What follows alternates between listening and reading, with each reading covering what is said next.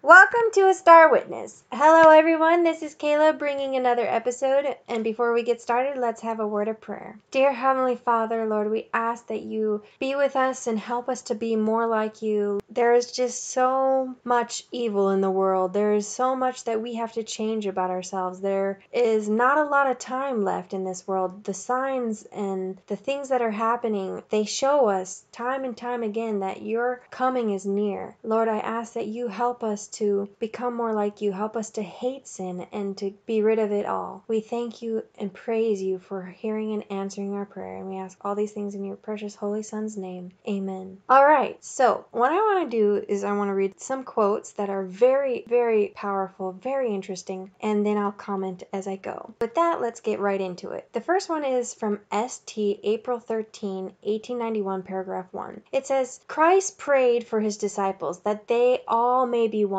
as thou, Father, art in me, and I in thee, that they also may be one in us, that the world may believe that thou hast sent me. The unity of believers is to be an evidence to the world of the divine power and mission of Christ. This should be the mighty argument to convince the world that Christ is the Son of God, the Redeemer of fallen man. The love existing between believers is to be similar to the love existing between the Father and the Son, and this love in the soul is the evidence of the indwelling of the Holy Spirit. We are to love God supremely and our neighbors as ourselves. It is in the lack of this love that thousands fail and are found transgressors of the law. Supreme love for God will lead to love for our fellow men, and the commandment of Christ is love one another as I have loved you. By this shall all men know that ye are my disciples, if ye have love one for another. We cannot have this love unless Jesus is abiding in the heart by living faith. The very unity of disciples, the love manifested one for another, will be evidence to the world that God has sent his Son into the world as its Redeemer. This unity and love will exist wherever the Spirit of the Lord abides. Heart will be bound to heart, and works of righteousness will appear in the daily life. This is what we need to do. We need to pray to the Lord to give us this love for others, and we need to have that love for God. It is only by loving God that we can have love for others. So we can't do one without the other. We must have this love for the world, like Christ loves us, like Christ loves everyone. We really need to work on this because it is so important, and we will see this time and time again. She says in 10 MR 144.2 and point 3, why should not believers love one another? It is impossible to love Christ and at the same time act uncourteously toward one another. It is impossible to have the Christ love in the heart and at the same time draw apart from one another, showing no love or sympathy. The more love we have for Christ, the more love we will have for one another. There must be a reformation on this point, else there will be in our churches a perilous departing from God. We have known and believed the love that God hath to us. God is love, and he that dwelleth in love dwelleth in God, and God in him. Herein is our love made perfect, that we may have boldness in the day of judgment, because as he is, so are we in the world. There is no fear in love, but perfect love casteth out fear, because fear hath torment. He that feareth is not made perfect in love. We love him because he first loved us. If any man say, I love God, and hateth his brother, he is a liar. For he that loveth not his brother whom he hath seen, how can he love God whom he hath not seen? And this commandment have we from him, that he who loveth God love his brother also. 1 John 4 16 through 21. The Lord is very clear in these verses. He says we need to love others as we love him. And if we have that love in us, it will cast out fear, fear of standing up for truth. It will cast out fear of standing strong in the last days. It will cast out that hatred and malice and selfishness that we have in our hearts. We all have it. We all have those tendencies. We must get this Christ like love in our hearts like He loved us. We cannot hate anybody and expect to be in heaven. That is just not going to happen. And we are told this time and time again. She says in RH, February 23, 1897, paragraph 1 and 2 Beloved, let us love one another, for love is of God. And every one that loveth is born of God, and knoweth God. He that loveth not knoweth not God, for God is love. In this was manifested the love of God toward us, because that God sent his only begotten Son into the world, that we might live through him. Herein is love, not that we love God, but that he loved us, and sent his Son to be the propitiation for our sins. Beloved, if God so loved us, we ought also to love one another. No man hath seen God at any time. If we love one another, God dwelleth in us, and his love is perfected in us. Hereby know we that we dwell in him, and he in us, because he hath given us of his Spirit. And we have known and believed the love that God hath to us. God is love, and he that dwelleth in love dwelleth in God, and God in him. Herein is our love made perfect, that we may have boldness in the day of judgment, because as he is, so are we in this world. See further 1 John 4 18 through 21. It is the expression of God's love for us that makes us care for one another. When the Lord Jesus dwells in our hearts, we think the thoughts of God and do the works of God. How can I find language to express the deep, earnest interest I have for our people? I am filled with yearning of soul that those who have accepted present truth should realize that they are to be sanctified through the truth. Otherwise they lie against the truth. God is the author and finisher of our faith. Notwithstanding our varying types of character, we are brought into church capacity through the profession of our faith. Christ is the head of the church, and if those whose names are on the church record do not belong to Jesus, the invisible head, they are like the fruitless branch of the vine and are taken away. If one is really a fruitful branch, he will make it manifest by bearing fruit, giving evidence of his absolute allegiance to Christ. He will have a spiritual connection with God. Faith and love constitute the gold of character, and will be ever working on the Lord's side to unite and harmonize the members of Christ's body. So here we are seeing through the verses in the Bible once again and through her own words how important it is to have that connection, to have that love for God and for others. If we don't have that spirit of Christ, if we don't have that love and that faith in us and all of the other fruits of the spirit, we will be as a dead branch, cut off in the end. We have to exhibit these wonderful traits of character if we want to be in heaven. Otherwise, we won't be there because hatred and malice and all of these other evil characters are not going to be in the kingdom of heaven. We need that connection with God. God will help us to have that love, to have that connection with Him. We must pray more than ever before. We must have that earnest, deep, longing, abiding want to pray to the Lord and to ask for His help and to seek to change our characters because time is running out, brothers and sisters, and we don't have long anymore. She says in St. July 2, 1894, paragraph 8 Jesus marked out in a plain way the line of conduct that we all should pursue. We are to love God supremely and our neighbors as ourselves. The question asked by the lawyer is of importance to each one of us, and the answer is plain and decided, so that no man need walk in darkness, because he has the light. The whole duty of man is comprised in keeping the first four and the last six commandments.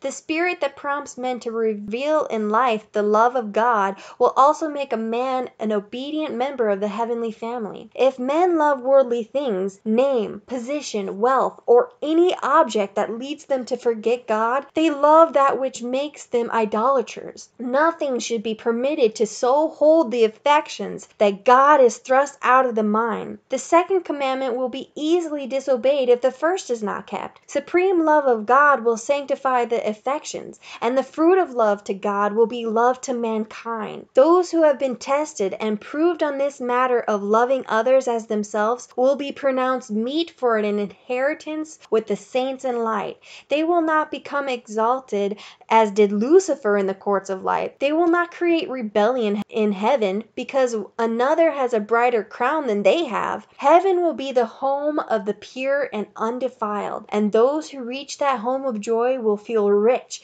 receiving a reward that they do not in the least feel that they deserve. That is very powerful words, very amazing to hear all of these things. We won't even feel worthy of the reward that we do get because in our minds we are unworthy. We should never say, "Oh, I am so worthy of this," because that's pride.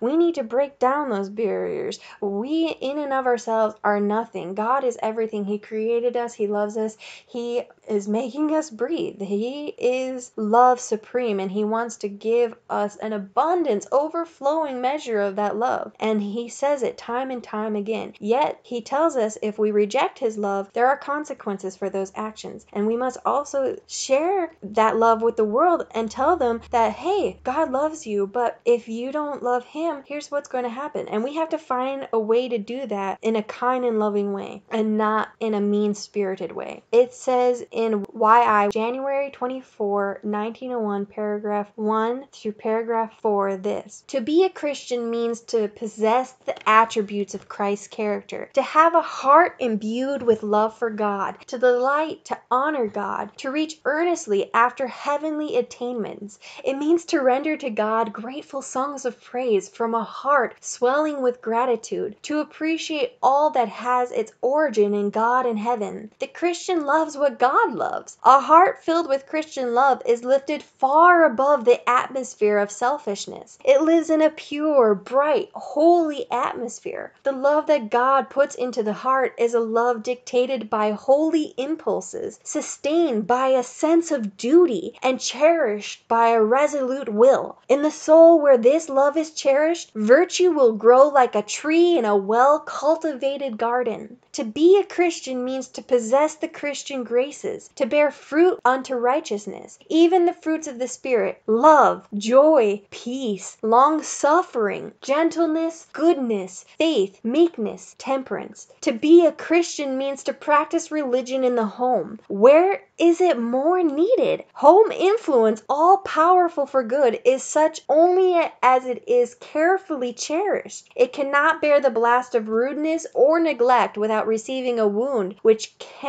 with difficulty be healed. The motives and tastes of the Christian are entirely opposite to those of the worldling. It is impossible to be in harmony with Christ and with the world at the same time. But among the people of God the love of the world has been increasing to an alarming extent. We feel alarmed as we see so many who profess to accept Christ going on from day to day the same as before. Too often believers act in such a way that unbelievers have no cause to think that they are living any nearer Christ than they themselves. Their conversation is flippant. Their actions are unlike Christ. Many who take upon themselves baptismal vows do not live these vows even for one day. They have not come out from the world. They do not know what it means to hold communion with God. We fear that many youth have stopped short of genuine conversion. By their actions they testify that they have no part with Christ, that they are only pretenders. Ye shall know them by their fruits.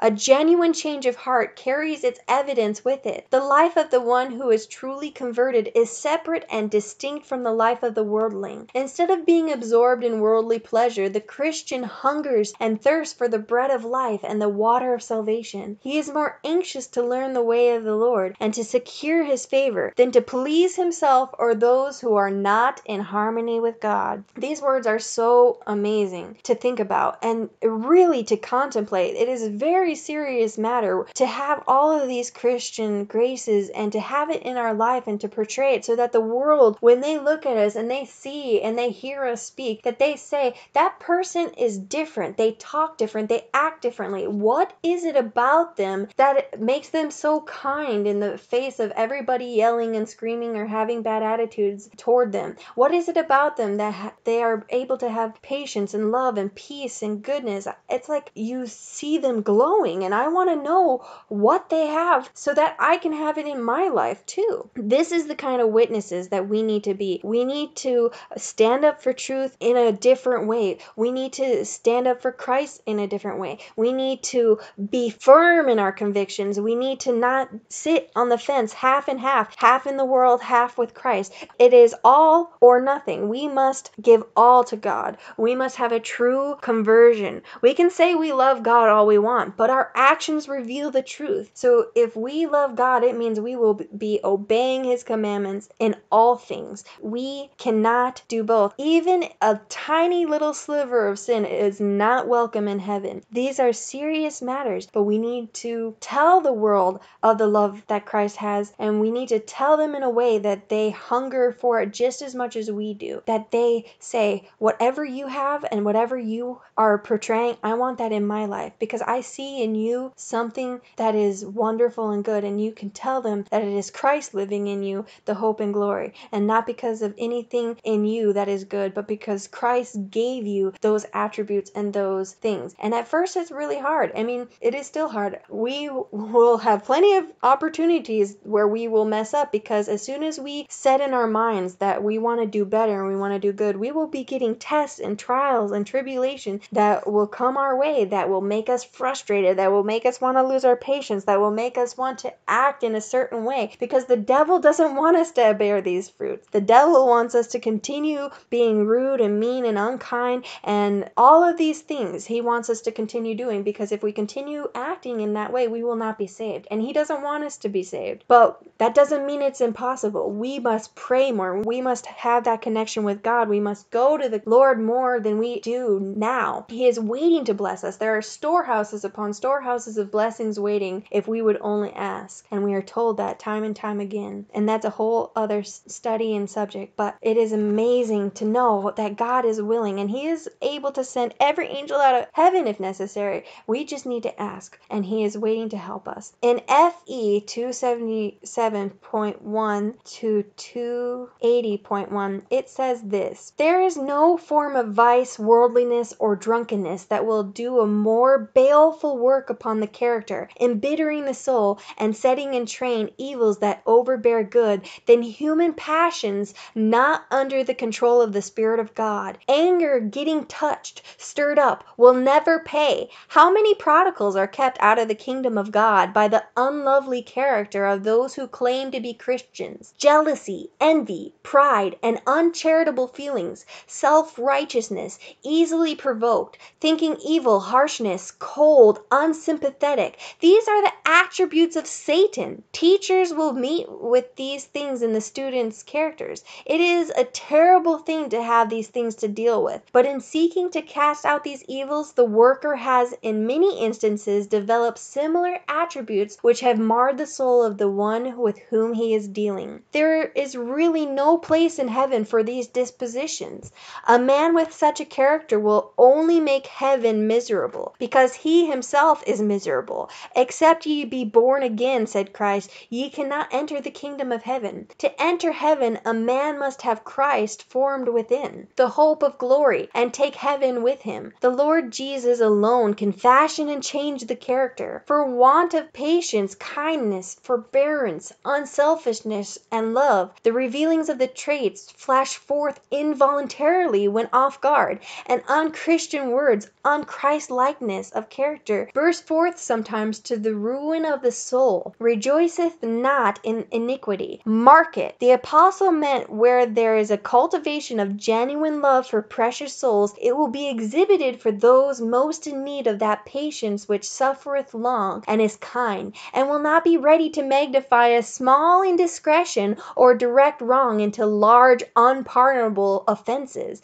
and will not make capital of others' misdoings. The love for souls for whom Christ died will not do that which has been done through misconceptions of that which was due to the erring, exposing their errors and weakness before a whole school. How do you think Jesus has looked upon such transgressions? Had he been present, he would have said to those doing these things, Ye know not the scriptures nor the power of God. For in the scriptures it is plainly shown how to deal with the erring. Forbearance, kindly consideration, consider thyself lest thou also be tempted, would meet the stubborn, obdurate heart. Love of Jesus will cover a multitude of sins, that they shall not prey upon the offender, neither be exposed to create feelings of every stripe and character in the human breast of those to whom these errors and mistakes are laid open, and in the one thus dealt with. He is too often driven to desperation. His mind is beyond the healing. Now the work is to have the grace of Christ in the soul which will never, never be guilty of exposing another's wrongs, unless it is a positive necessity. Practice in the line of Christ. The true witness speaks in Revelation 21 5. Practice love love. There is nothing in Christianity that is capricious. If a man will not exercise his arm it becomes weak and deficient in muscular strength. Unless the Christian exercises his spiritual powers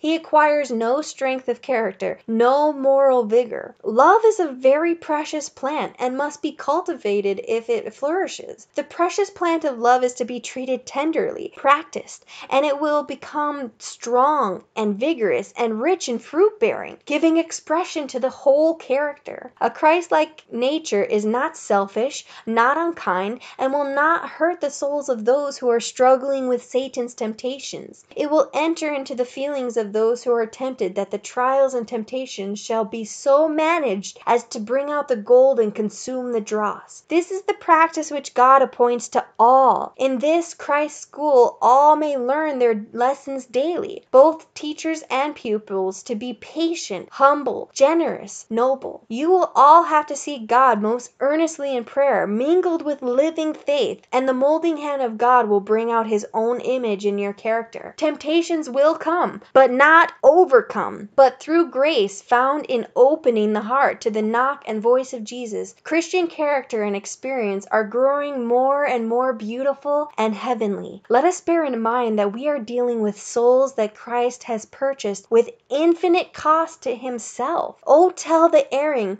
God loves you. God died for you. Weep over them, pray with them, shed tears over them, but do not get angry with them. They are Christ's purchased possession. Let everyone a character that will express love in all his actions. Whoso shall offend one of these little ones which believe in me, it were better for him that a milestone were hanged about his neck and that he were drowned in the depths of the sea. It were better not to live than to exist day by day devoid of that love which Christ has revealed in his character, and has enjoined upon his children. Said Christ, Love one another as I have loved you. You live in a hard, unfeeling, uncharitable world. Satan and his confederacy are plying every art to seduce the souls for whom Christ has given his precious life. Every one who loves God in sincerity and truth will love the souls for whom Christ has died. If we wish to do good to souls, our success with these souls will be in proportion to their belief in our belief in and appreciation of them. Respect shown to the struggling human soul is the sure means through Christ Jesus of the restoration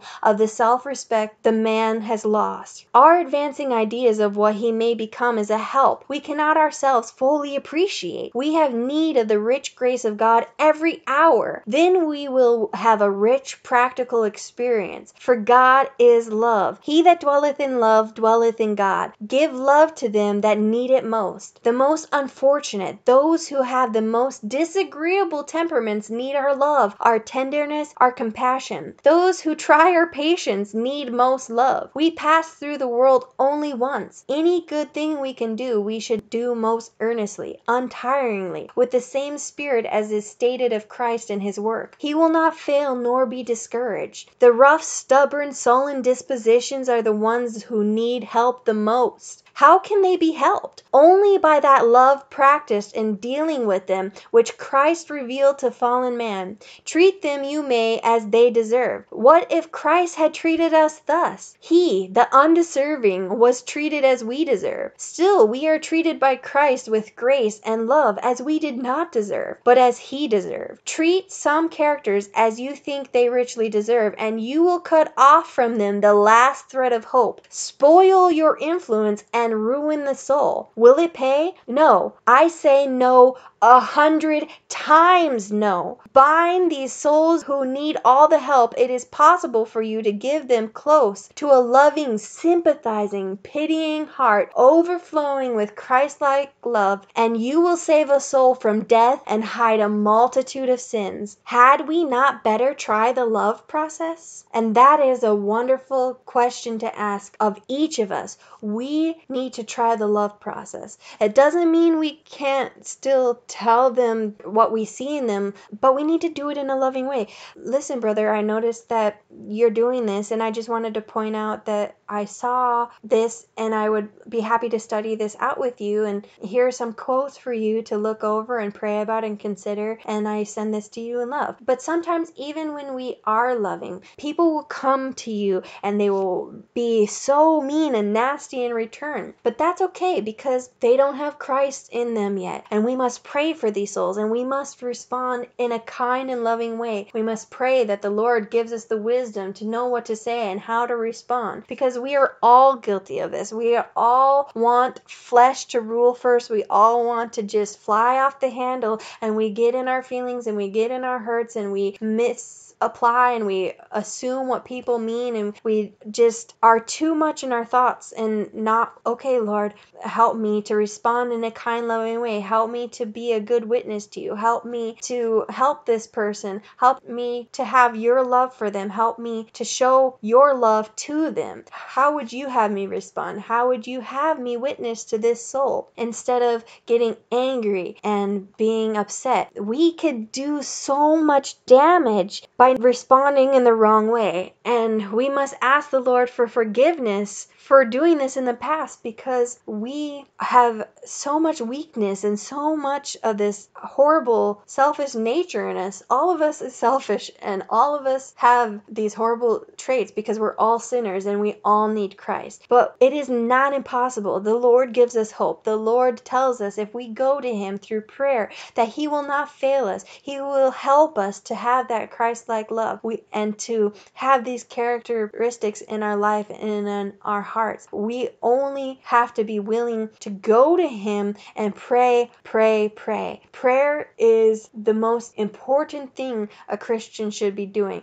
Also, that is our connection with God. We need to not only study and pray, but then we need to witness and we need to share with the world the message the Lord has given us. And we need to do it in that Christ like love. That is why it is important. We need everything. We need the love, we need the truth, and we need to share it and the Lord will be with us as we do it all. We can't have one without the other. If we just pray and study all the time, that we will dry up too. We have to share with others, and that's a whole other study, not for this time. But I just wanted to share these quotes because of how important it is and how much we need to work on ourselves and to work on this Christ like character because without it, we will be lost. And I will be praying for all of you, and I hope that you pray for me as we both go through this world together together that we may be ready for his soon coming because with all of that is happening in the world, time is running out and we don't have time to play any more games. Please keep your soul in prayer. We need to have that constant communication with the Lord. Pray without ceasing, like Paul said. We need to be in the Word, we need to know the Word, and we need to share the Word, as I said time and time again. Now, with all of this being said, I wanted to sing this song called Nothing Between.